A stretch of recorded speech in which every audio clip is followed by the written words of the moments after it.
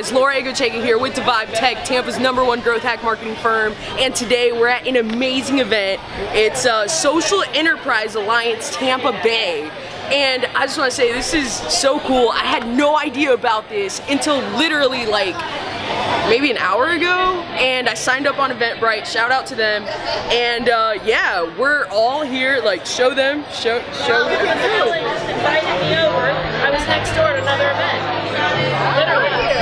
so we're all here to play bingo. Yeah and we're all together gonna drive society forward because that's what social enterprises do. And I'm so proud to be a part of that. And if you want you can tell the world who you are and what you I'm do. I'm Sherry Sutton and I'm super proud to be part of this event and part of the Social Enterprise Alliance. And you should definitely come out to the next event and you should support Divibe because they're awesome. Divibe Tech Firm in the cut, we're out here, we're getting it and we're giving back because that's the only way we can positively impact society. See you guys in a little bit. Nah, you wouldn't, trust me. You wouldn't. you didn't make a lot more than that. I'm trying. I'm coming out with so for every for every kilowatt that I help install, I donate 50 euros to a women organization or environmental organization. Heck yeah, yo, that's awesome.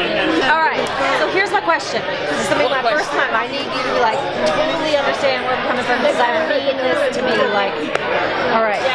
So I was told, I'm an old chick, okay, but I'm trying to get not that. I was told that the question, an appropriate question is to ask, how do you identify? Is an appropriate question? Yeah. Okay, fantastic. So that's what I need to know. How do I? I'm a woman. I identify as a lesbian woman. A lesbian woman, and your name is Laura. And I'm Laura. Pleasure. So that's the right way to ask without offending, because I want to like. I'm not offended. I mean, I don't know. Some people are really sensitive. Oh, I know, and so I want to be appropriate. Like I want to address people the way they want to be addressed, but I want to also make sure that I'm asking in a way that is that is not offensive because I don't mean. I don't think you asked in a. Is that the right way? Yeah. Thank you. That was like very like straightforward to the point, and it wasn't like, what do you look like? Oh, you know what I'm saying? It wasn't like no, I that. never do that. No, because that's not my thing. All right, cool. Thank you. Good. All right, thank you. I have to fill it. I'm the national sales director.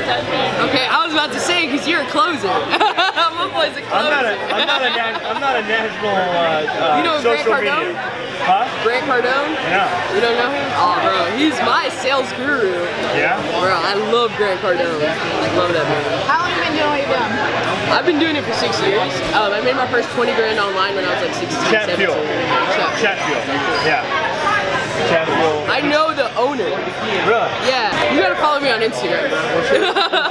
They're so smart and they're ahead of the game right now because podcasts are that well and you if you'd have told me I was going to podcast a while back I'd have gone no I don't think so but uh, just wasn't All I do, you listen to podcasts, I I'd say listen. 90%. So when somebody said something to me about doing a podcast, I went, oh my goodness, here's my chance to actually share what I can't necessarily say to somebody face to face in the financial world, Because regulations as well as in between. Sometimes you can't tell somebody something face to face, but if they can hear it, it'll They click don't think it's like directed Okay. towards them. correct. It's no longer as personal, Yeah. but it's something I want them to hear, Right. and so that was it. Like pay your taxes. Don't be stupid. but it's awesome that you like realize that because not a. Well, I kind of got over it, you know. I was like, what do I do in life now, you know? And it, I finally, yeah, I did. I realized that I, I don't need to change what I've done or who I am. I just need to step it up. You gotta level up. It's all about leveling up in life. And I see, I left my, I left my career to stay home with my child. I have special needs child who's come very, which you would never know this. And we did it all the old-fashioned way, by diet and therapy. I never put him on medicine because the one medicine he got completely destroyed everything. You gotta listen to Alex Charfen. Who? Alex Charfen. He's my like guru. He's my mentor. All right, I need to start writing some of this stuff down. He wrote. He wrote way over my head fast. the billionaire code. Like, Okay, I've heard so you have to follow him. Like you have to just do what he says. He's such an amazing person and he gives back and like he's just so dope. And I think you would benefit a lot from listening to more people like Alex what? Charfen. Just like it sounds, sharp end. You know, sh- uh, C A Sharpton. S I met him um, in February. Alex, I thought you said Alan. No, Alex. His podcast is called um, Momentum. He literally got me out of depression. I was I was only making money and I wasn't giving back to anybody, and, and he like helped me realize I was fucked up mentally. And I just literally listened to everything he said, and it just, it just went forward. Like I wasn't stuck.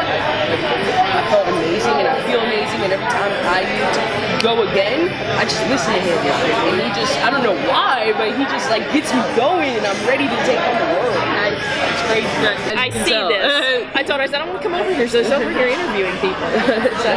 So, yeah, no, I would love to be able to do some things because I think we have a lot that uh, can be compared and shared, and you know, people need to hear it. We, we need to bring hope to a to a hurting world. Totally, and I love that you're in the Tampa Bay area. Like I've been traveling all the all the United States, and like I want to focus on Tampa. Tampa needs to shine. You know? And this is your home. this is my home. That's it.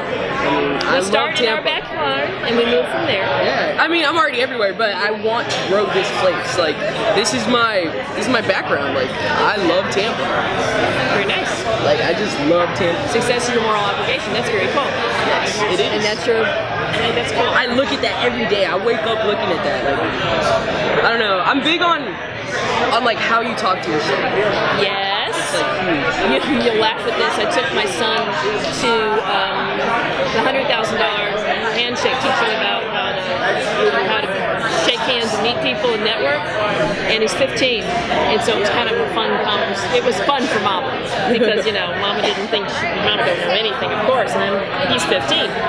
So it was quite interesting to see the process and the, the way he took it in, you know being able to meet adults and be treated like an adult and see how it really works. So that was kind of fun. Yeah, it's and I enjoyed doing that. So it's you know, and it goes back to learning about the success and, and raising his mind up out of you know just where these teenagers are thinking. You know, it's like this is reality. This is this, this is this is your obligation for yourself. You have a world to touch. We need to get on with it. And it was really hard for me to come out, even though like I'm already like a very like social person. Like I get nervous when I did my first talk um, at Tampa Bay Startup Week. It was 600 people for my first talk ever, and I was just like, Fabulous. yeah, I mean, yeah, it was awesome. oh, that's a cool deal. Yeah, and it was with Gary Vaynerchuk, so that was awesome. In a positive way, right, guys? We're having a blast, guys. If you're not here and you have a business, you need to find out more information. So I have linked their site to this live, so you can go check out their website. You can go check out what they're about.